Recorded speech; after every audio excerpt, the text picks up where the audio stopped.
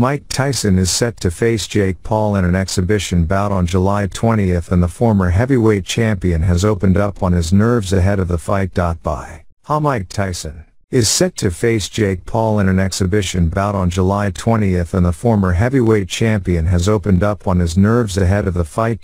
Boxing great Mike Tyson has said he's scared to death about his upcoming fight with Jake Paul, but he thinks being nervous is good for him.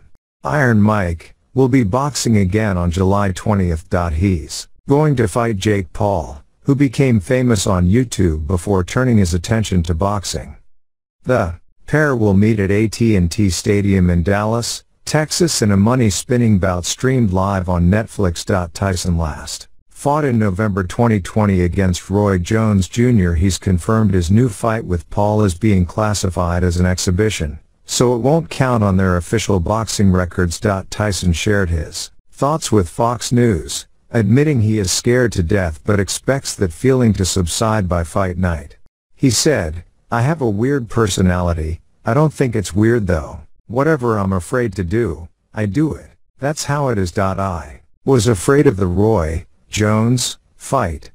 I was 100 pounds overweight. I was however old, 54, 53, and I said let's do it.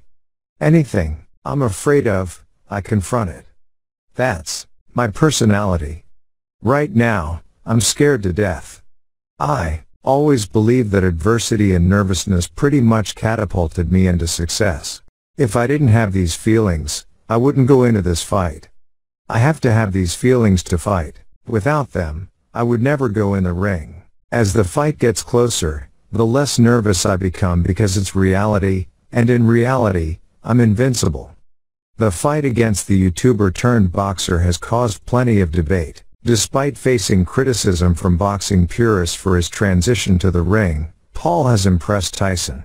I saw a YouTube of him at 16 doing weird dances. That's not the guy I'm gonna be fighting, Tyson said. This guy is gonna come, he's gonna try to hurt me, which I'm accustomed to, and he's gonna be greatly mistaken. Dislike him. I do not have no grudges against him. He's beautiful, not from that perspective. Details of the fight have emerged, with the bout set to take place in an eight-round exhibition, meaning no winner will be declared.